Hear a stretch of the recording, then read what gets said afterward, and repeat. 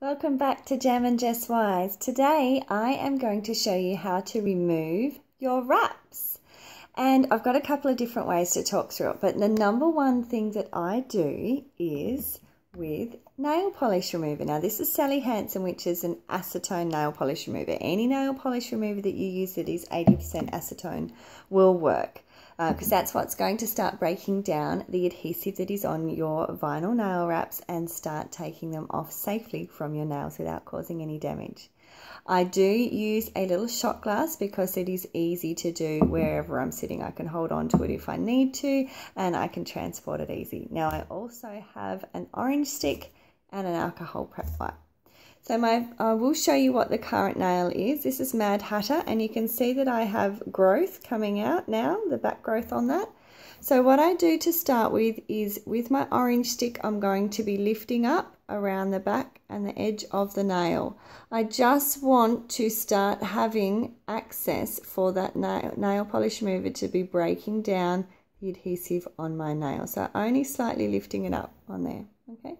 Then I'm going to be starting to soak it.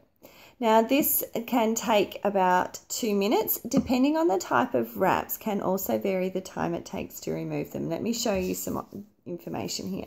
These are our gloss wraps. This is Country Club and it has a white background. Our clear, matte and gloss wraps, also tint, all have a very basic wrap coating.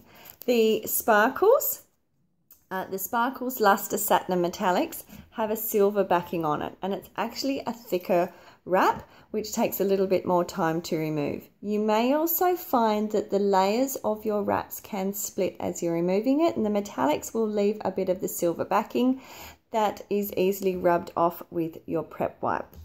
Let me have a check on the progress of this. Now I'll bring it up close and you'll start to see that it's wrinkled and the nail polish remover is working itself underneath that wrap. So I'm just going to now start with my nails. I'm just going to be lifting it a little bit. Now, if you find that it is pulling, you'll need to start soaking it again. Okay, so it's worked its way halfway down my nail, but I want to keep soaking it. Now, the nail polish remover, you might be a little bit hesitant to use that on your nail, but have a think about it. Your nail wraps have lasted up to two weeks, and it's only at that point that you're then going to put them into your nail polish remover. If you are wearing polish and it chips after two or three days, because I know mine does, you would be using your nail polish remover on your nails a heck of a lot more often than you would be in wearing your wraps. But if you don't like the acetone, you can also use oils. Now, some of my girlfriends use baby oil. You can use vegetable oil, coconut oil, and olive oil. Now, coconut oil is one that I use. This is solid coconut oil because in Tassie we don't buy it as liquid and a rubber glove. Why? I do some wrap removals when I'm washing up. I've got a family of five, so it's a long time that I spend at the kitchen sink. And sometimes I'm a little bit time poor, so I multitask. With the solid coconut oil, I'll take a dollop of this and put it into each finger of my rubber glove. The heat of the washing up water and the length of time that I am working away there is going to allow all that oil to soften my wraps working underneath by the time I've finished, I can just slide them off my nail. Talking about sliding off my nail, let's have a look at how this one is lifting. Now here's an example where it has split. So this is the gloss cover of it and the adhesive layer is still on my nail. It has worked itself around a little bit more, but it is still sticking. So I'm going to keep soaking. Why? Because you don't pull your nail wraps. That is the number one reason of what causes the damage to your natural nail, pulling it.